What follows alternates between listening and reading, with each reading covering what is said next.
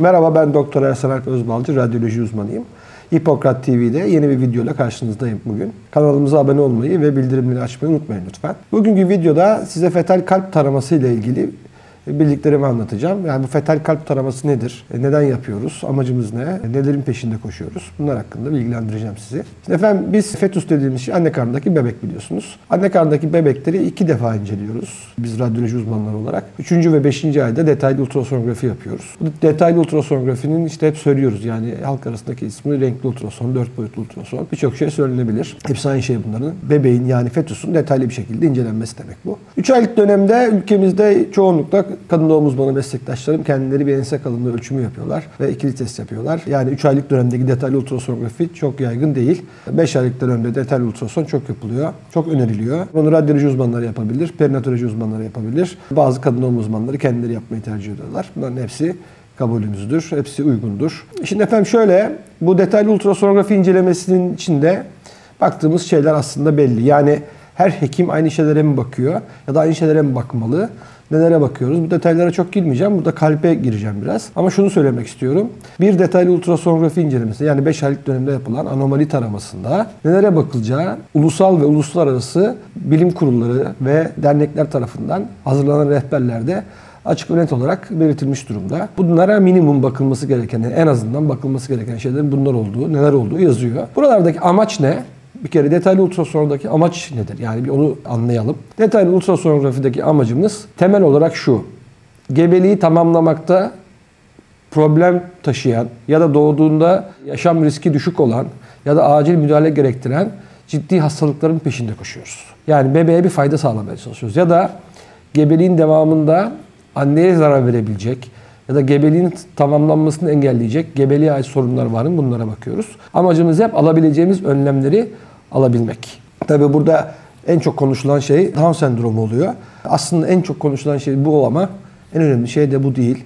Onu her zaman söylüyorum. Önceki videolarımda bahsettim. Anne karnındaki bebekte Down sendromunu sadece ultrasonografi ya da kan tahlilleriyle var ya da yok demek mümkün değil. Bunun tanısı var ya da yok demenin %100 yöntemi amniyosentez. O da şu anda konumuzun dışında. Down sendromu özelinde baktığımız zaman kalp hastalıklarında Down sendromlu bebeklerde diğer sağlıklı bebeklere oranla kalp hastalığı gözükme oranı biraz daha yüksek. Burada bahsettiğimiz kalp hastalığı, erişkinlerde gördüğümüz kalp hastalıkları değil bunlar. Bunlar daha çok anatomik bozukluklar söz konusu. Yani örnek veriyorum en basit herkesin bilebileceği bir şey. İşte kalpte delik mesela. Yani veya sağ kalpten çıkan damarla sol kalpten çıkan damarın yer değiştirmesi, kalp odalarında boyut farklılıkları, bir sürü şey sayabilirim. Çok yüzlerce hastalık var, detaylar var. Bunların çoğu aslında yaşamla bağdaşmıyor. Gebeliğin devam ediyor olmasının en temel sebebi bu gibi büyük hastalıklarda anne karnındaki kan dolaşım sistemi ile doğum sonrası kan dolaşım sistemi arasındaki farklar olmasından kaynaklanıyor. Bunun için bunları tespit etmeye çalışıyoruz. Bunların iki sebebi var dediğim gibi. Bu fetal kalp hastalıklarını bir ciddi bir hastalık tespit ettiğimizde aileyi ve kadın doğum uzmanını bu konuda uyarıyoruz ve büyük ihtimalle doğum sonrası acil bir ameliyat gerektirecek, müdahale gerektirecek bir patoloji ise bu gördüğümüz rahatsızlık hasta doğumunu ona göre uygun bir merkezde yapsın istiyoruz. Bir de Down sendromla ilişkili olabilecek kalp hastalığıysa bu gördüğümüz. Bu konuda aileyi bilgilendirip kendileri de istiyorlarsa daha ileri testler yani amniyosentez yapılması konusunda önerilerde bulunmak için. Her zaman söylüyorum ultrasonografi ile bir bebeğin %100 sağlıklı olduğunu söylemek mümkün değil. Her zaman her türlü hastalık için açık kapılar kalıyor. Bir kere bunu ailelerin bilmesi çok önemli bizim için. Bu fetal kalp taramasında nelere bakmak gerekiyor? Gebeliğinizi takip eden kadın doğum uzmanınız fetal kalp taraması yapabilir mi? Yapmalı mı? Bir kere gebeliğinizi takip eden kadın doğum uzmanınız fetal kalp taraması yapabilir. Bunda hiçbir sakınca yok. Burada işin içerisinde tecrübe, kullanılan cihaz ve ayrılan vakit giriyor. Çünkü bebeğin kalbini doğru düzgün inceleyebilmek için kalbin bize uygun pozisyonda durması gerekli. Yani sırtı dönük bir bebeğin kalbini incelemek mümkün olmuyor pek. Ya da yan durmuş bir bebeği. Mümkünse bize yüzü dönük yani karnı sırtı arkaya bakan bir pozisyonda olması lazım. Burada yeterli büyütmeler, cihazları yeterli ayarlarıyla biraz vakit ayarlayarak yapması gereken bir şey. Bununla ilgili de biraz sonra göreceğiniz kesitler var. 5 tane kesitimiz var bizim. 4 oda kesiti, sağ ventrikül dediğimiz sağ çıkış, sol çıkış, 3 damar kesiti, 3 damar trakea kesiti. Bu 5 kesiti aldığımız zaman biz bunların hepsinin normallerini biliyoruz. Biz radyologlar olarak bu işle uğraşan perinatologlar, fetal kardiyoloji uzmanları, pediatrik kardiyoloji uzmanları, meraklı kadın doğum uzmanları bu görüntüleri alıyoruz, biliyoruz ve buralarda bir anormallik olduğunda bunu fark ediyoruz ve tanı koymaya çalışıyoruz. Ciddi olarak bir doğumsal kalp hastalığı düşünüyorsak üst merkeze sevk ediyoruz hastayı.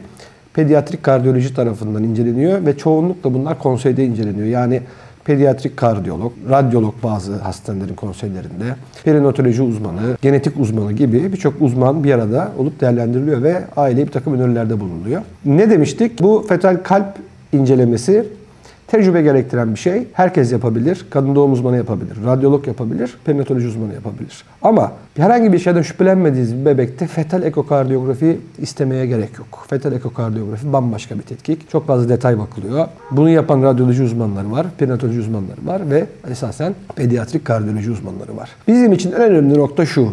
Aileler de bunu bilmeli. Kadın doğum uzmanları zaten biliyorlar. Bizim bütün sıkıntımız anne karnındaki bebek dünyaya geldiğinde biz onun yaşamını kaybetmesini istemiyoruz. Yaşamını kaybedebileceği ciddi bir rahatsızlığı varsa bunu gözden kaçırmak istemiyoruz. Örnek veriyorum. Büyük damar transpozisyonu dediğimiz rahatsızlık varsa bunların doğduktan sonra yaşamlarını sürdürebilmeleri pek mümkün değil. Acil bir müdahale, acil bir ameliyat gerekiyor. Ama bunun yanında mesela küçük bir kalp deliği var. Bu hiçbir zaman sorun çıkartmıyor. Bunun için öyle bir şeye gerek yok. Yani Hastalıklar da birbirinden farklı farklı, yapılacak şeyler de farklı. Bunlar hep çok uzmanlık isteyen şeyler. İşi özetlersek, fetal kalp taraması, tecrübe gerektiren, belli standartlarda yapılması gerektiren her şeyden önemlisi hekim tarafından vakit ayrılarak yapılması gereken bir inceleme.